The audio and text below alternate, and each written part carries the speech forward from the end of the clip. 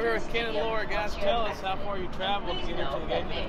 Well, we actually live here in Charlotte, so it's Okay. awesome that we get to see our cats play right here in Charlotte. Yeah.